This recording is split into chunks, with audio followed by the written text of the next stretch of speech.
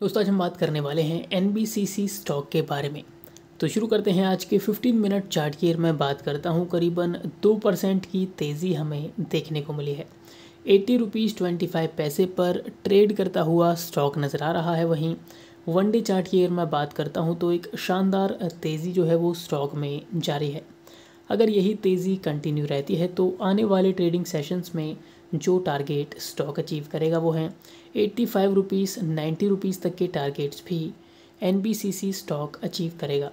तो अगर आपके पोर्टफोलियो में एनबीसीसी शामिल है कंटिन्यू होल्ड करें। यहाँ पर देखिए फ्रेश बाइंग भी करके चल सकते हैं। एक शानदार बाइंग का मौका स्टॉक बना रहा है।